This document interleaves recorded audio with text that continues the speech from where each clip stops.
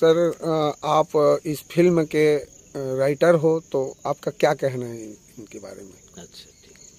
आप सबको राजहंस भरद्वाज के जय जोहार। जय जोहार। ये छत्तीसगढ़ी जो फ़िल्म है मैं लिखे हूँ मैं जी। ये में समाज में आज जो भी बुराइयाँ हैं जो बहुत सारा समाज में अंधविश्वास है जी। और एक परिवार के साथ कैसे रहना चाहिए एक परिवार समाज के साथ में कैसे रिश्ता रखना चाहिए? तो जो लिखे हो मैं भूख, माया के तो आदमी के पास में कई भूख है। कोई ला धन के भूख है कोई ला पदवी के भूख है कोई ला रुतबा के भूख है। माने हर कोई भूखा है। तो ऐसे कहानी है कि कोई ला माया के भूख है। लेकिन ओला परिवार से वो माया नहीं मिल पाए।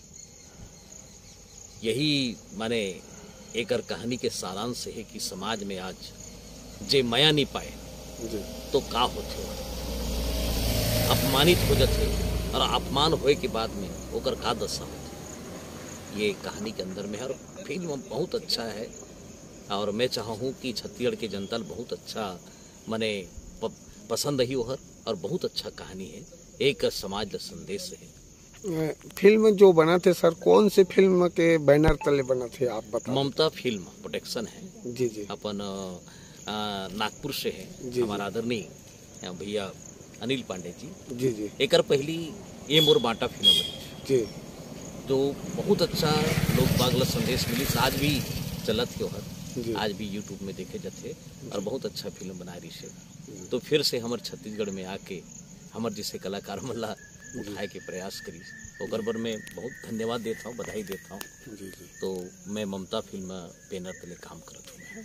आगे का है आपके? आगे और विचार है। एल्बम भी चालू एल्बम भी चालू है हमार एल्बम यूट्यूब पर है ममता फ़िल्म बैनर यूट्यूब में। आज भी अच्छा अच्छा गाना है और दोनों काम चलत है। एल्बम पे ही काम चलत है और फ़िल्म के भी काम चलत है। अगले फ़िल्म फिर से तैयारी में है अभी जी। बिल्कुल। आप अच्छा से जानकारी दे सर एक स्थिति आप लोग बहुत बहुत धन्यवाद है। और आपके फ़िल्म अच्छा से चले। बिल्कुल, आशा है और विश्वास के साथ आप सब जानकारी दे एक स्थिति बहुत बहुत पुनः धन्यवाद है जी जी। धन्यवाद। सर, अभी अम्बागढ़ चौकी में जो छत्तीसगढ़ी पिक्चर का शूटिंग हो रहा है उनके बारे में आप बताइए थोड़ा सा। मैं अनिल पांडे जी। ममता फ़िल्म क्रिएशन से। जी। पहले हम लोग एक छत्तीसगढ़ी और हिंदी मूवी बना रहे जा रहे हैं जिसका टाइटल टाइटल है भूख मया के। जो एक पारिवारिक और छत्तीसगढ़ की कृतियों को बताने का हमारा एक प्रयास रहेगा इस फ़िल्म के माध्यम से।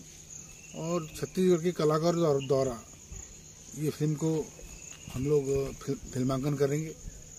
और आने वाले समय में यह फ़िल्म एक अच्छा संदेश छत्तीसगढ़ की जनता को देकर जाएगी, ऐसा हमको पूर्ण विश्वास है।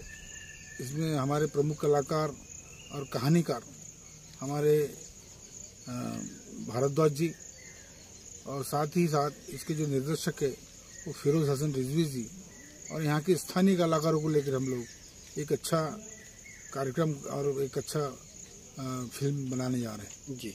यहाँ फ़िल्म कब तक रिलीज़ हो जाएगा सर? सर ये फ़िल्म जो हमारी है ये दीपावली के अवसर पर जी। हमको प्रदर्शित करने का हमारा मानस है। हम सबका प्रयास रहेगा कि दीपावली के समय में जो मंडई का सम, समय रहता है दीपावली से लेकर दिसंबर तक इसमें हम लोग फ़िल्म को छत्तीसगढ़ की जनता को सामने पेश करेंगे। धन्यवाद।